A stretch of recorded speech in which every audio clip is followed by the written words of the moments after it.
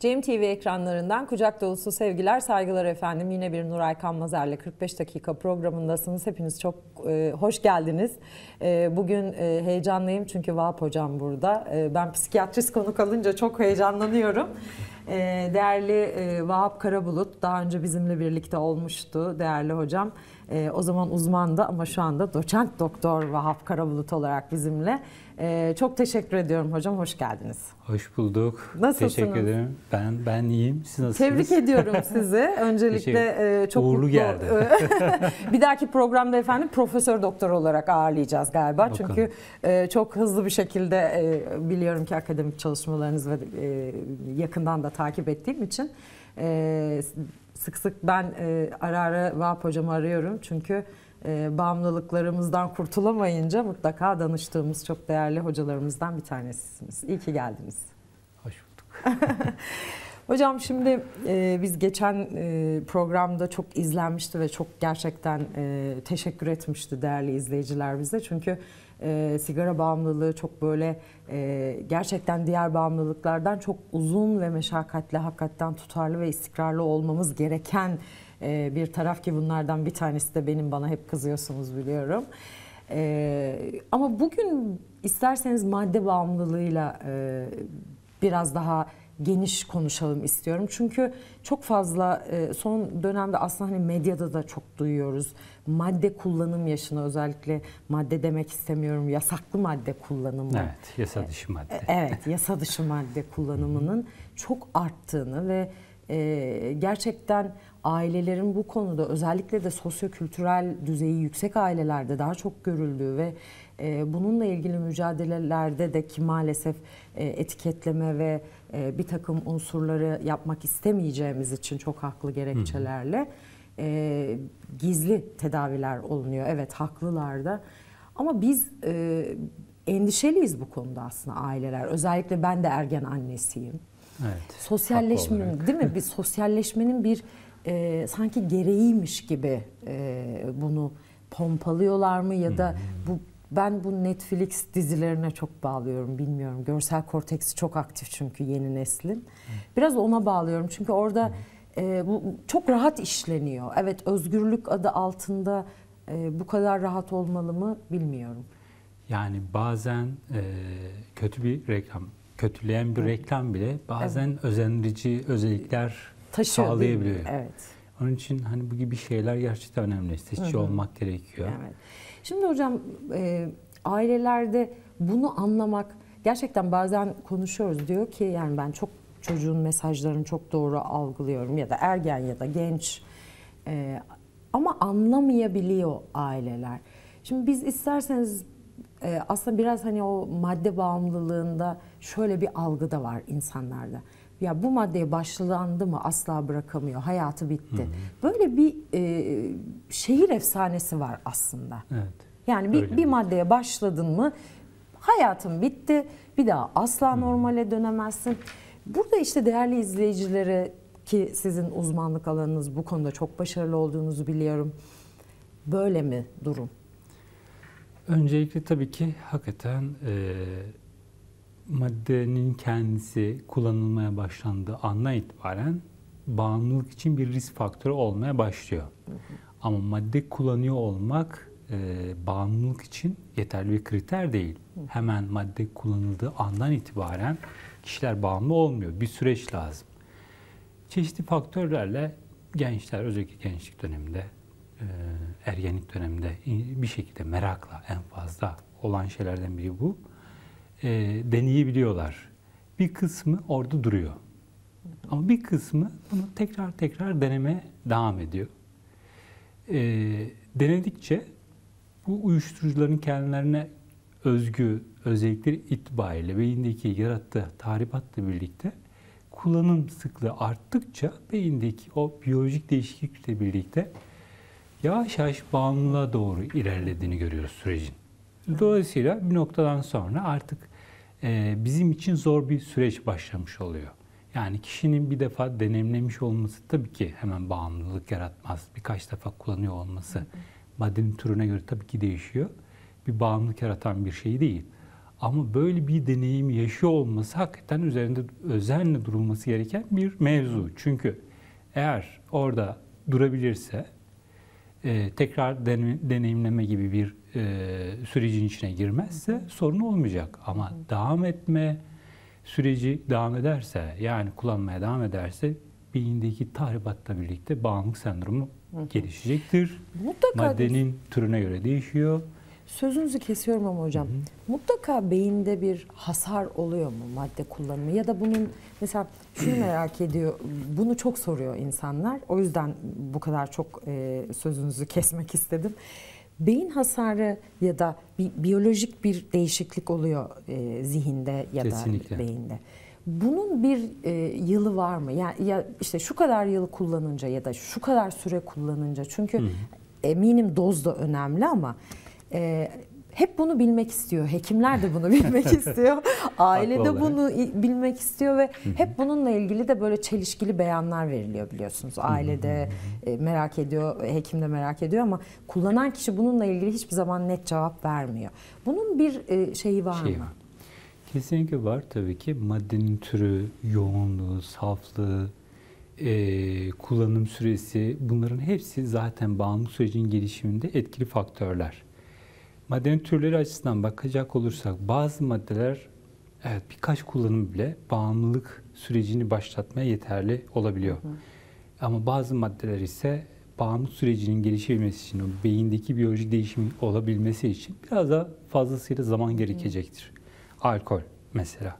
Hani e, bir bağımlılık sendromunda gördüğümüz tipik e, o biyolojik değişikliklerin tam oturabilmesi için, ciddi bir yoksunluk sendromunun ortaya çıkabilmesi için kişinin düzenli bir şekilde birkaç yıl boyunca Kullanıyor gerekiyor. Tabii kişinin biyolojik yapısı birçok faktör etkili olabilir. Süre daha kısalabilir.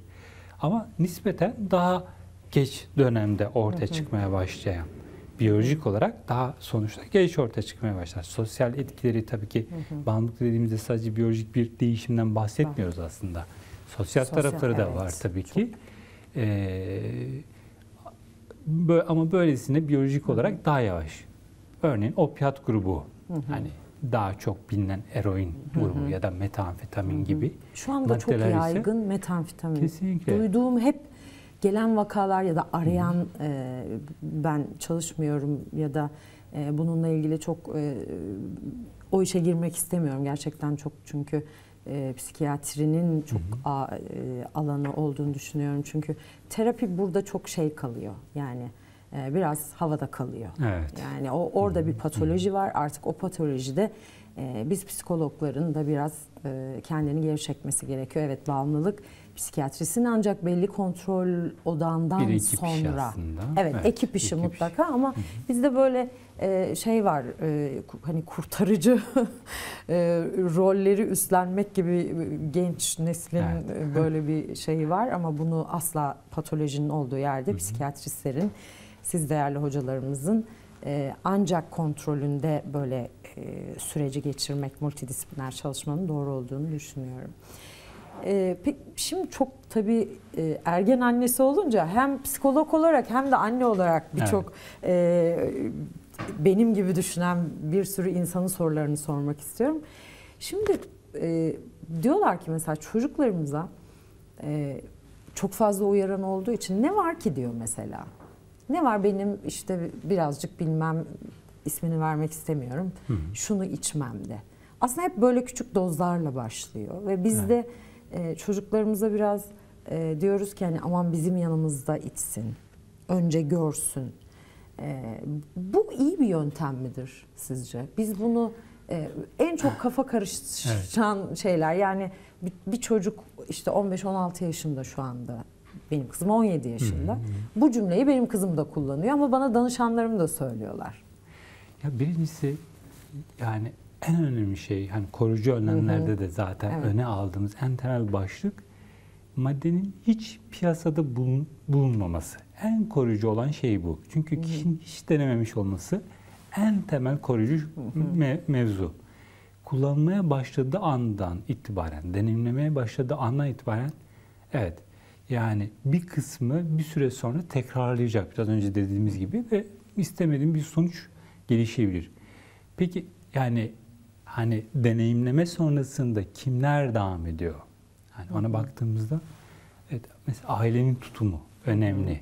Çok böyle serbestleştirici, normalize eden, e, daha bu konuda e, fazlasıyla e, Müsamaha müsamaha gösteren bir bazen. aile tipi ise kişi hakikaten hani baskılama gereğini duymuyor ve devam edebiliyor. Ve bir süre sonra zaten kaçınılmaz olarak istemediği bir sonuca doğru gidebiliyor. Evet. Başlangıçta kontrol edilebilen, tercih olarak giren bir madde bir süre sonra artık tercih olmaktan çıkmaya başlıyor. Artık bir zorlantıya, bir istemediğimiz halde katlanmak zorunda kalınan bir sürece dönüşmeye başlıyor. Aslında bağımlılık dediğimizde biraz böyle. Yani yavaş yavaş kontrolün kaybolduğu madde üzerinde, o nesne üzerinde neyse onun üzerindeki denetimin yavaş yavaş kaybolduğu sürekli bir istek arzuyla e, şekillenen bir sürece doğru ilerlemeye başlıyor. O açıdan hani norm, normalize edeceği, toplumun bu anlamda tırnak içinde e, hoşgörülü karşılaması aslında ciddi bir e,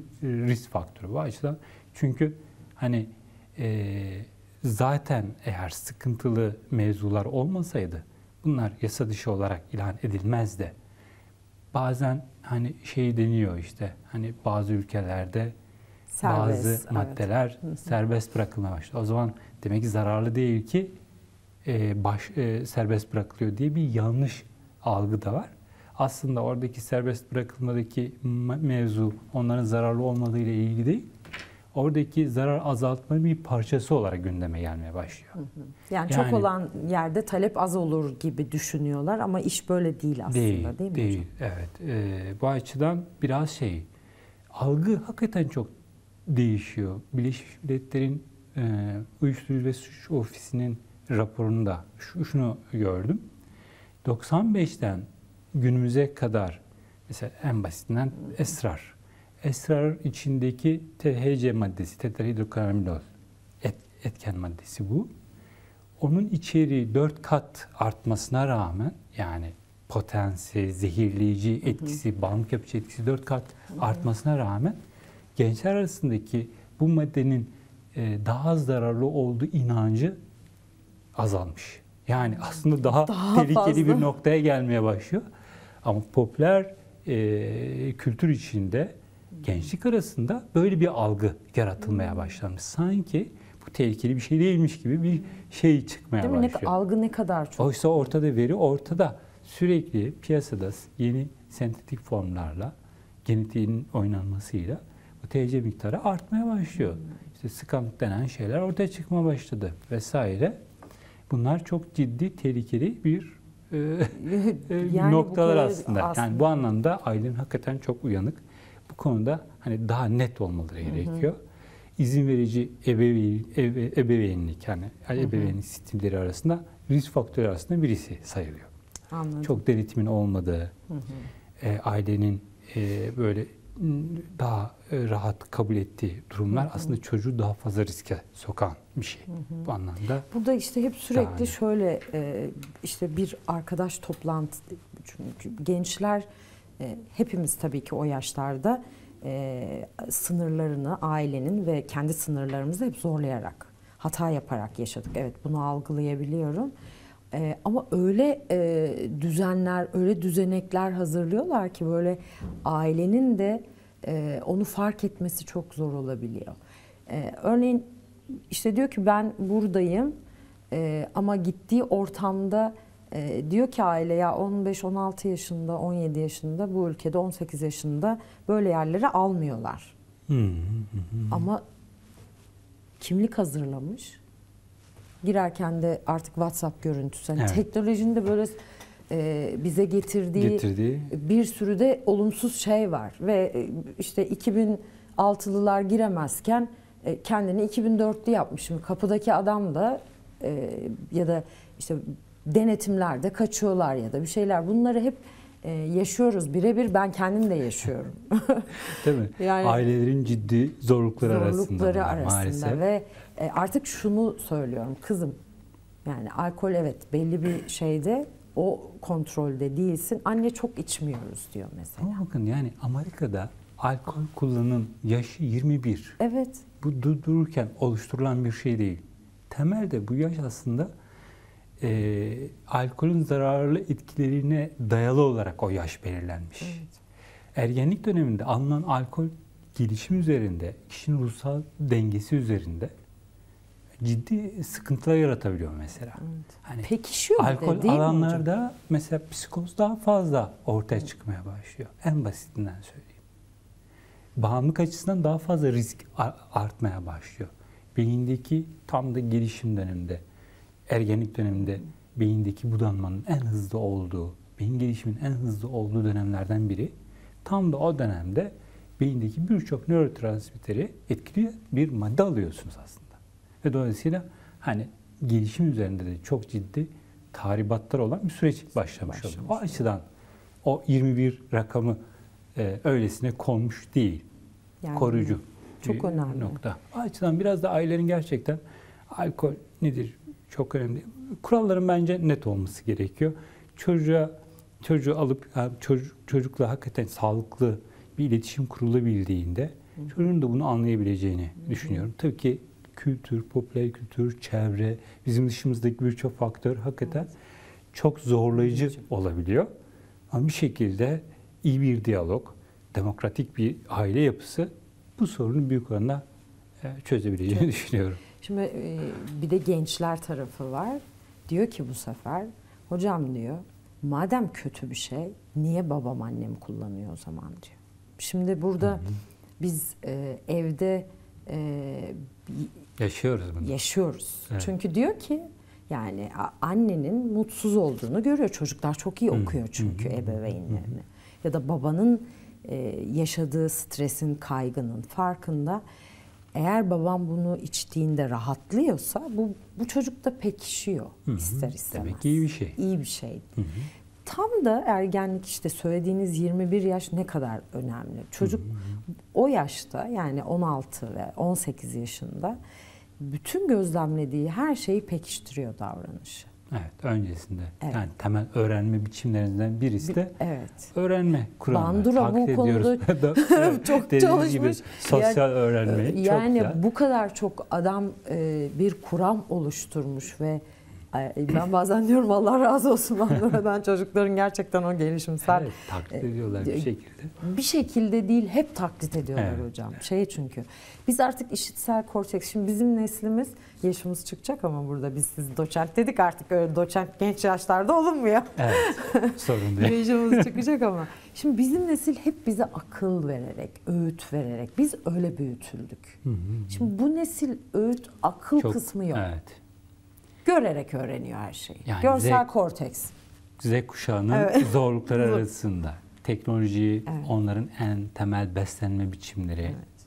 aileler artık tabii önemi var ama tabii ki onun dışında kocaman bizi zorlayan, Zorlayan. ailenin karşısında başka bir güç odağı da var. Aileleri zorluyor bu tabii ki. Kesinlikle. Bu yani e, bu konu hiç bitmesin istiyorum. Sizi hiç bırakmak istemiyorum. O kadar çok soracağım şeyler var ki. Çünkü e, gerçekten çok böyle e, son dönemde hep böyle üstü kapalı e, konuşuluyor. E, insanlar arıyorlar.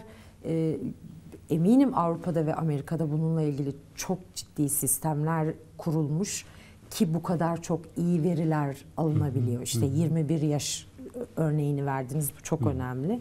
Artık onlar o sistemi oturtmuşlar ve bunun farkındalar. Ama bu ülkede daha e, böyle bir şeyle karşılaşınca hangi aşamada nereye başvuracağını bilemeyen insanlar var. Evet. İsterseniz biraz hani biz evet bu e, koruyucu önlemleri, e, kişilere neler yapabileceğimizi e, ile ilgili adım sunduk ama bundan sonra da e, o aşamaları nasıl yönet Ne yö- nasıl yönetecekler? Çünkü gerçekten bu aslında öyle bir çaresizliğe neden oluyor ki hocam. Doğru kişiye ulaşamamak. Dolaşıyor da dolaşıyor. Oraya gidiyor, oraya gidiyor ve hem aile için hem çocuk için çok yorgunluk oluyor. Bunu sadece aslında çocuğa da indirgememek lazım. Yetişkin bağımlılıkları da var. Evet. Yani ailede herhangi bir birey hasta olduğunda sadece bir bireyin hastalığı olarak kalmıyor. Onun için bağımlılık mesela bir aile hastalığı olarak da kavramsallaştırılmış. Aa, bu Yani herkes bir şekilde hasta olmaya başlıyor. Ailenin dengesi bozulmaya başlıyor. Evet. Herkes yeni bir rol almaya başlıyor. Bağımlının kendisi zaten merkezi bir rol alıyor. Tüm ilgi onun üzerine kurulmaya başlanıyor. Bazen şey görüyoruz yani ailede tuhaf bir denge oluşmaya başlıyor. Diğer çocuklar mesela görülmemeye başlanıyor. Ee, diğeri görülmediği için ayrıca sorunlar yaşamaya başlıyor vesaire. Öylesine bütün sistemi ailenin sistemini bozan Evet. herkesin bir şekilde büyük bir bedel ödediği bir sisteme, bir şekle dönüşmeye başlıyor. Zor bir hastalık bu anlamda. Evet, e, birey hastalandığında evet aileler bazen saklama eğilimine girmeye başlar. Bir şekilde bunun çözülebileceğini düşünürler. E, bazen e, çok rasyonel olmayan yaklaşımlar da olabiliyor. Örneğin e, bir şekilde dışarıda içmesin, evde kullansın, bir şekilde onu destekleyen, sorumluluğu alan bir noktaya getir- getirebiliyorlar. Burada şey önemli bir şey. Yani sakin olmak, suçluluk duygusundan çıkmak, e, tamamen seçeneklerini bir e, önüne alıp ne yapabileceğini e, bağımlı ile birlikte oturup konuşmak hakikaten önemli bir şey. Nihayetinde bir bağımlılık söz konusuysa bağımlının kendi sorumluluğunu almadan bu sorunun, sorunun çözülmesi mümkün değil. Onun için hani en temelde yapılması gereken temel şey yani bunun bir hastalık olduğunu kabullenmek ve bunun için bağımlının sorumluluk almasını bekleyerek bir şekilde tedavi sürecine başlamak. En önemlisi sorumluluk galiba. Çok önemli Evet, bir kelime evet. söylediniz hocam. Evet, evet. Çünkü o sorumluluğu almadığında tedavi şansı gerçekten azalmaya başlıyor. Yani hani e, ve bizde aslında çoğu zaman ilk geldiğinde mümkün mertebe motivasyonel bir yönelimle bu anlamda kişiyi biraz hazırlamaya çalışıyoruz. Bazen geliyor, sorunun farkında olmayabiliyor. Nerede olduğunu tam kavrayamayabiliyor. Örneğin şey diyor, diyor ki hani ben yoksunluk yaşamıyorum ki. Yani sadece bağımlılığı bir yoksunluk sendromuyla eşitleyenler var. Örneğin. Hep öyle aslında Evet. hocam. Çok Hani önemli. Bu yoksun- da çok önemli. Ya ben alkolü kestiğimde ellerim titremiyor, bir şey olmuyor. evet, Ertesi hep bu cümle kullanılıyor. diyor. O, ö- öte taraftan bakıyorsunuz yani eşiyle ciddi bir problemler yaşamaya başlamış. İşiyle ilgili sıkıntılar yaşamış. İşlevselliği büyük oranda bozulmaya başlamış değil mi? Ara sıra alkol ilişkili istemedik şeyler yaşamaya başlamış. Kişi bunları hakikaten bir problem olarak kaydetmeyebiliyor. Ve dolayısıyla aslında bunlar bağımlılık sendromunun birer tanı kriteri içinde olan şeyler. Biraz onları tartışmak. Burada, bu- burada bir farkındalık kazandırmak hakikaten önemli Çok bir şey. önemli. Evet. Kişi hazır olmaya başladığı andan itibaren önereceğimiz tedavi çoğu zaman daha etkili olabiliyor. Evet. O zaman amacına uygun bir şekilde devam edebilmek daha kolay bir Çok önemli aslında iki e, benim için eminim değerli e, izleyiciler de bunu aldılar. Kabul etmek ve e, tanımlamak.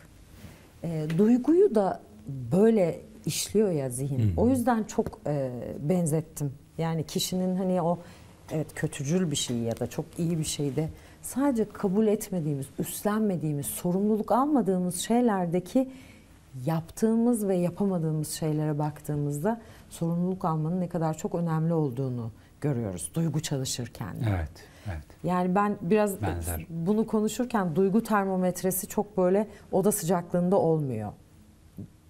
Madde girdiği zaman Evet. işin içine. Ya çok e, sıcak ya da çok eksilerde oluyor. O yüzden e, bu- bunu dengelemek e, sanırım sizin de söylediğiniz gibi sahip çıkmakla başlıyor. O evet. yüzden çok değerli. Çok e, ürkütücü hakikaten hocam. Yani tablo gitgide hani bu kadar e, bakıyorsunuz toplumda inanılmaz bir e, şey var. E, değişim, dönüşüm var. Kültürel olarak da var. Şimdi kültürel aktarımlar e, bizde işte babanın yanında böyle şeyler sigara, yasaklı madde asla kullanılmazken Evet. şimdi bu çok rahat deklare edilebiliyor. Aslında burada kültürel dejenerasyonun da olduğunu görüyoruz ve bağımsız olmadığını düşünüyorum ben. Değil, evet. Yani kültür olarak eğer bunu sürdürebilseydik bizler sanırım herhalde biraz e, daha rahat bir aile, modern bir aile olma e, haliyle bunu karıştırdık diye düşünüyorum. Evet, bazı faktörler dediğiniz gibi koruyucu bir faktör olarak ön plan çıkabiliyor. Yani bu geleneksel koruyucu aile yapısı gerçekten mesela alkol konusunda, sigara konusunda e, biraz daha e, koruyucu bir faktöre dönüşebiliyor. Dönüşebiliyor. Bu zamanla e, tabii ki değişmeye başladı. Yeni bir kültürleşme süreci. Kültürleşme sürecinin kendine göre doğruları var, şeyleri var. Ve yani çoğu zaman da beslendiği kaynaklar da aslında tam olarak da rasyonel bir kaynak değil. Evet. Kendine göre çarpıtmaları olan bir kültür. Ve e, bu anlamda e, böyle bir ortamda bakıyoruz işte gittikçe her geçen gün madde kullanımının şiddetli bir şekilde arttığını Art- görüyoruz. Yani her yıl bakıyoruz yeni piyasaya yeni yeni maddeler pahalı girmeye da başlıyor. Hocam bu kadar ekonomik e, yani ciddi ekonomik e, zorluklar yaşıyor insanlar. Ama bir şekilde o maddeler zaten e, yapılan çalışmalarda bilmiyorum tabii ki bu sizin e, daha çok bu konuda katkınız olacaktır. Sosyoekonomik düzey, maddi açıdan iyi olanların erişebildiği maddeler bunlar. Yani parası- Acaba? Hep Öyle böyle mi? bir inanış var. Öyle. Sanki hani maddi olarak iyi olan erişebiliyor, diğerleri değil. Herkes erişiyor. Herkes farklı e, bir şekilde bunu çeviriyor. Yani Anladım. parası olan bir şekilde parasıyla bunu çevirebiliyor. E parası olmayan bağımlı olduğunda artık bir iş bir zorlantıya dönüşmeye başladığı anda bu farklı bir şekilde mesela potansiyel bir son e, satıcı olarak Olarak. bunu çevirebiliyor. Örneğin bir hırsızlık Evet. yaparak bunu sağlıyor. Kaynaklar daha fazla suç unsurlarıyla bu süreç dönmeye başlıyor.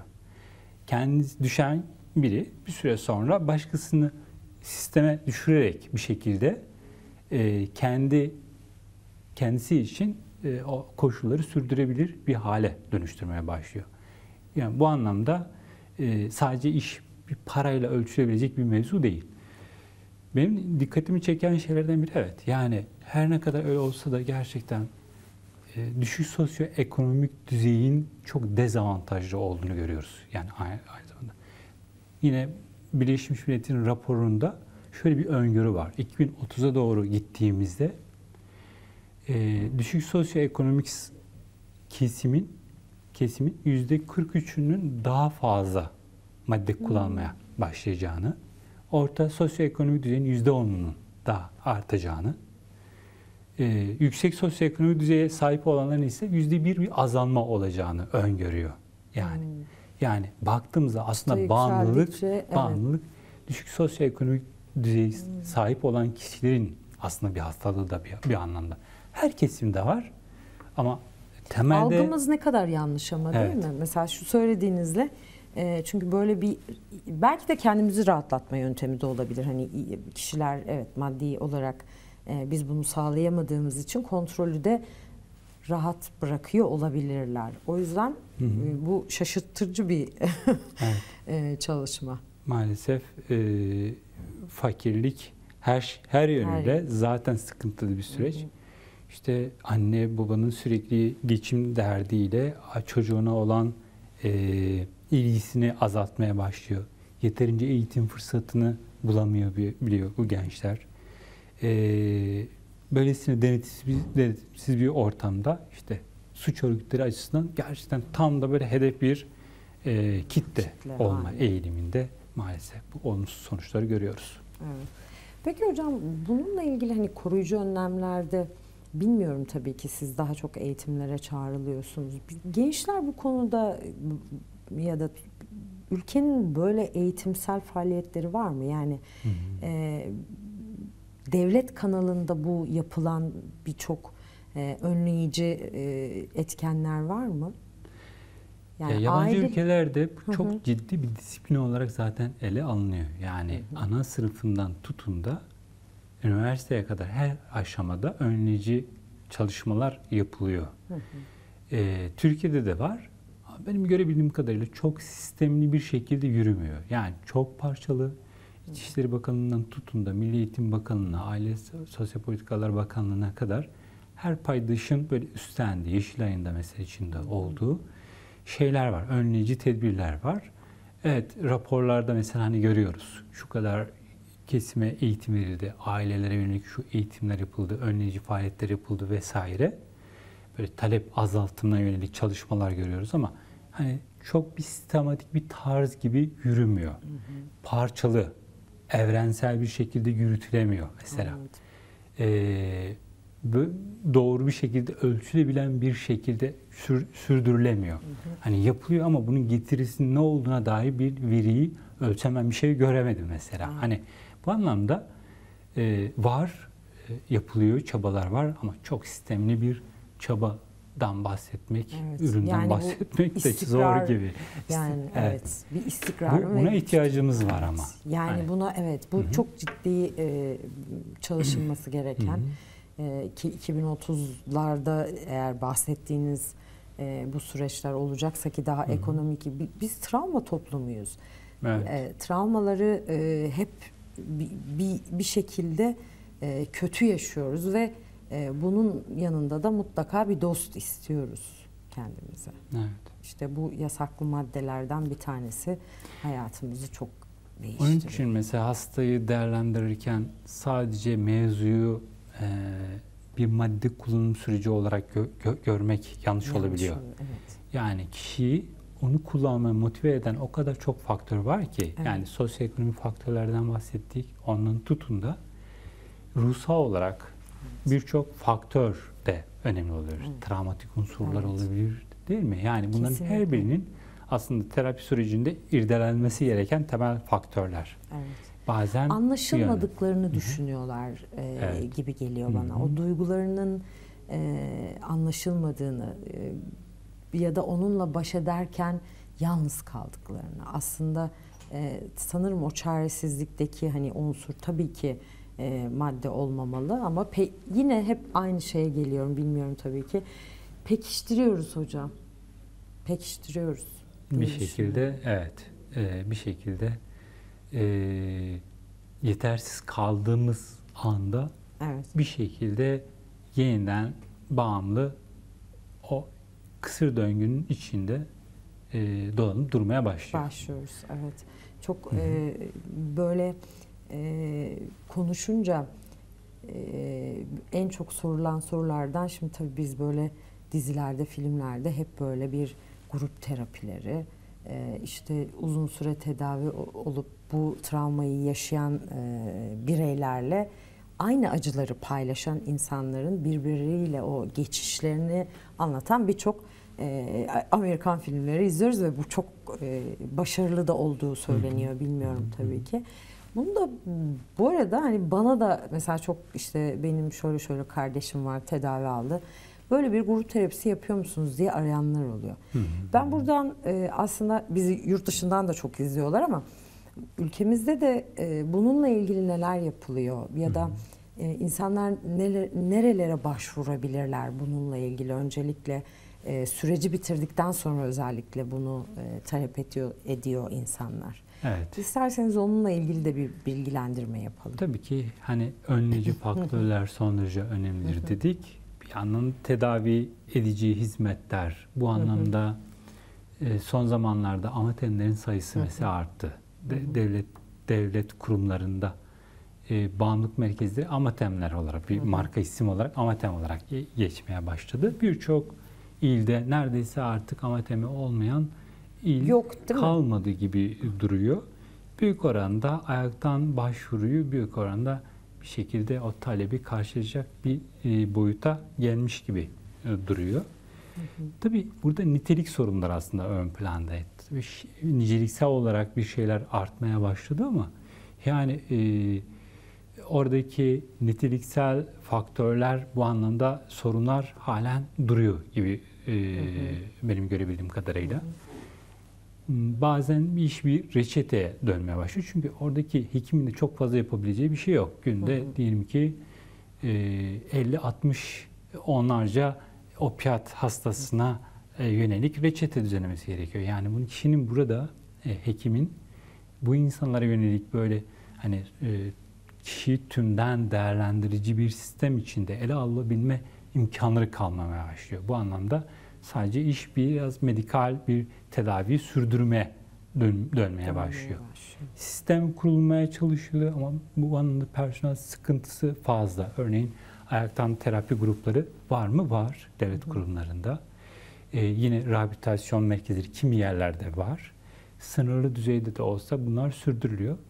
Ee, bunların aslında devletçi biraz da geliştirilmesi gerekiyor. Biraz daha e, personel anlamda, daha teşvik anlamda e, yapılabilecekler şeyler çok olacağını düşünüyorum. E, bağımlıların da bu, bu gibi merkezlerde, birçok merkezde bu gibi ayaktan terapi, yani tedavinin yanında terapi şanslarının ol, olduğunu söyleyelim. Birçok merkezde var. Yani bunu talep ettiklerinde e, büyük oranda bulabileceklerini düşünüyorum. Bunun dışında özel kurumlarda da tabii ki bu sağlanıyor. Yine bazı e, Yeşilay gibi mesela YEDAM, EDA adı altında hı hı. farklı e, yerlerde e, birimleri var. Buradan hem ayaktan hem grup terapileri şeklinde terapi süreçleri devam ediyor. Özel merkezler de var. Hı hı. Aslında bu, bu yönlü bir e, gittikçe böyle kendisini geliştiren bir sürecin olduğunu da görüyoruz. Evet. Aslında evet. gerçekten yeni bir düzenlemeye bence bu konuda ihtiyaç var ve e, daha sistemli, sistemli daha evet. e, ayakları e, yere basan ve hani bazen bir proje atılıyor. Aslında devlet hı hı. böyle bu anlamda e, mesela rehabilitasyon merkezlerine bir süreci başlatıyor. Buradaki sorun süreklilikle ilgili bir şey. Evet. Yani bir dönem bir e, e, o dönemki atmosfer biliyorsunuz artık yavaş yavaş son dönemlerde madde sorunu o kadar artmaya başladı ki metamfetamine bakıyorsunuz yani hı hı. yani ilk vaka 2009'da İstanbul'da ilk vaka 2009, 2009'da düşünün. Yani 2009'dan bu yana kaç yıl geçti? Şu anda bizim en temel problemlerimizden biri olmaya başladı. Yani. Neredeyse Türkiye'de metamfetamin olmadığı il kalmadı. Evet. Bütün ülkenin her Hızlıca yerinde. Hızlıca da bunun tabii bir pazarı da var yani. Tabii. Bundan kazanan yüklü ki bunlarda iyi kazanan hı hı. E, insanlar da var ve evet. e, yazık ki e, 2009'dan 2023'e kadar ki olan süreçte hızla bu kadar yayılıyor olması bu kadar. ve e, gündemde olması hı hı. çok üzücü. Evet. Ondan sonra da dediğiniz gibi 2030'larda da artık e, ne oluruz bilmiyorum. Yani son dönemde e, haberlerde de bununla ilgili çok şey var. Antidepresan kullanımı. Yani ciddi e, toplum olarak hastayız aslında. Bir şekilde evet. sorunlarımızı evet yönetemiyoruz. Evet. Yani ben sıfır sorun olacak demiyorum. Hayatımızda hep mutlu Böyle olamayız. Bir, Böyle bir beklentimiz, beklentimiz yok, yok. Evet. ama bunu nasıl yöneteceğimizi hı hı. öğrenmediğimiz sürece yani küçük küçük adımlarla biz hep hep böyle hayali çok uzak e, hedefler koyuyoruz. Küçük küçük hedeflerle aslında bir sonraki hedefe ulaşmak hem zihin için çok kolay e, hem de e, ulaşırken ki mutluluğu çok daha yakın yaşıyoruz diye düşünüyorum. Evet. Bilmiyorum doğru mu? yani e, bir şekilde dediğiniz gibi e, ihtiyaçlarımız her geçen gün hı hı. artıyor. Hı hı. İşte bağımlılık bağlamında da baktığımızda hı hı. sürekli bir, bir e, e, çaba söz konusu. Hı hı. İnsanların sorunları var. E, bazen kendileri bir şekilde bir antidepresanla e, insanlara gidip bir şekilde o sorunlarının çözüm için bir şey evet. sunmaya çalışıyor. Ciddi bir da, oran çünkü da, yani yüzde da, 60 artması tabii. antidepresan antibiyotik kullanımından fazla bu ülkede hocam. Evet, evet, evet, yani bu çok ciddi. Yani bu e, demek bizi hastalandıran çok fazla çok, çok fazla evet. E, koşul var. Evet. Artık hasta olmamak mümkün değil. değil. Tabii ki böyle olunca e, artık kendimize nasıl koruyacağımız, kendimizi, ruhsal sağlığımızı nasıl geliştirebileceğimiz mevzusu sonucu önemli bir önemli, mevzu evet. olmaya başlıyor. Hı hı. E, bu anlamda gerçekten hani antidepresan diyoruz ama sonuçta bunlar gerçekten ciddi ilaçlar.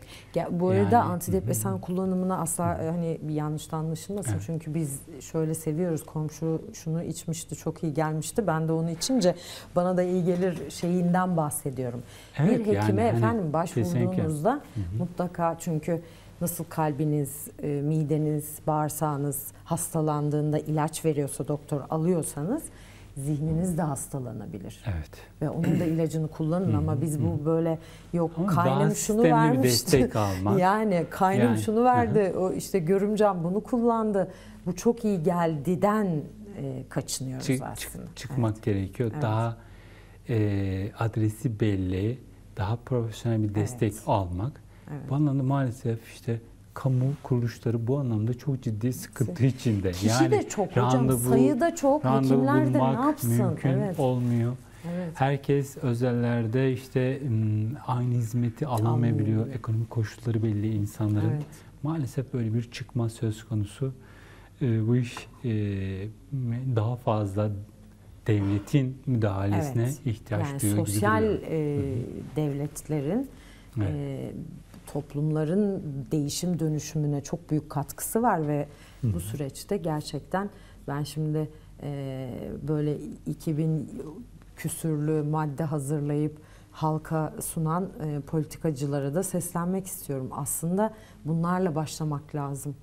Gençlerle, Hı hı. e, eğitimle, e, madde kullanımıyla. Çünkü toplumun e, de- toplu değişimini kontrol etmek çok daha zor. Bireysel daha kolay. Bireysel daha kolay. Evet, toplumu tümden Evet. örgütleyen, onu Evet. içine alan, e, gençliğin kendi Evet. potansiyelini daha doğru bir şekilde değerlendiren, e, siz iş olanakları sağladığınızda e, insanı o kısır döngü içinden çıkarma şansınız daha fazla. Örneğin madde kullanıcıların büyük çoğu iş, işi yok, Evet. şey yok. Ama Kötü kolay yaş- para e, E, bu tabii. sefer kolay para Farklı kazanma. bir şekilde e, o, e, işin içinde, İçinde. işin Aynen. içinde kalmaya devam ediyor. Siz onlara gerçekten bu istihdam alanlarını sunmadığınızda, desteklemediğinizde bir şekilde orada kalmanın koşullarını da istemeden İstemeden. yaratmış oluyorsunuz. Evet. Yani öyle bir şey var. Son bir soru daha sorayım programı kapatmadan. En çok şey e, şunu bana özellikle sor dediği için bir danışanım. E, bu hani madde kullanım tedavisinde e, mide bulandırıcı bir ilaç varmış diyor. Yani bu ilacı sık kullanınca muhtemelen herhalde pekiştirerek mi yapılıyor bilmiyorum. Siz, bizim böyle bir e, şeyimiz var mı yöntemimiz? Bunu özellikle sor dediği için soruyorum size. Yani o madde aklına geldiği zaman mide bulantısı olacak ve o maddeden vazgeçecek Hı hı. gibi bir sorusu var. Bu doğru mudur? Ya bu? direkt böyle bir bulantı Tı- artıran bir mevzu üzerinden değil ama hani mekanizma itibariyle bazı mesela bazı maddelerde tedaviler, tedavi argümanları çok arttı. Daha spesifik ilaçlar ortaya çıkmaya başladı. Opiat grubu e, bağımlılıklarda mesela şu anda elimizin altında gerçekten çok kıymetli tedaviler var. Bir şekilde Prenofin olsun, kombinasyon olsun, naltreksyon, oral ya da implant tedavileri bu anlamda bu zor hastalığı bir şekilde e, tedavide e, tutmanın önemli aracıları olmaya başladı. Alkolde yine bu anlamda önemli tedaviler olmaya başladı. Yani temelde bu ilaçların e, etki mekanizması isteği, arzuyu, maddeye olan arzuyu azaltmaları. E, Bazen yan etkileri anlamında da bize bir e, şey sağlayabiliyorlar. Örneğin fazla Fayda bulantı sağlıyor. sağlıyor olması. E, bu bir avantaja Avantaj. dönüşebiliyor. Yani belki o anlamda hani bir şey bir söylemiş şey olabilir. söylemiş evet. Evet bazılarının böyle böylesine bir şeyi var. Ya da işte e, kimi moleküller mesela alındığında madde son madde sonrasında madde alındığında herhangi bir psikoaktif etkisini göremiyor ve Hmm.